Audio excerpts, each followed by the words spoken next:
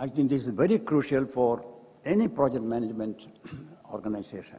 In government projects, you are spending government money. But where does the government get the money?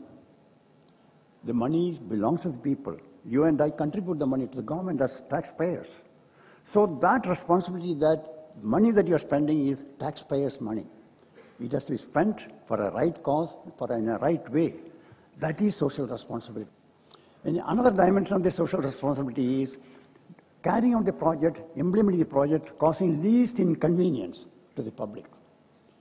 When Delhi Metro was being done, I don't think city ever knew what was happening even.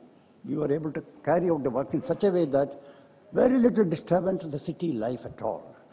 We used to barricade the work sites so well, light up the area, clean the roads. The, the extent of social responsibility we assumed was, you can see the way the roads were kept clean where the works were going on. We ensured that vehicles coming out of the work sites, their wheels are washed before the vehicle is allowed on the road so that the muck and slurry from the work sites are not carried onto the roads. Tree cutting. No, for construction of a metro or a construction of a railway line, large number of trees have to be cut. On our own, Delhi Metro decided that for every tree that we cut, we will plant 10 trees as compensatory afforestation. This was not dictated by the government. Government never enforced, I mean, wanted to do it, but we on our own decided this. This is, I call, a social responsibility.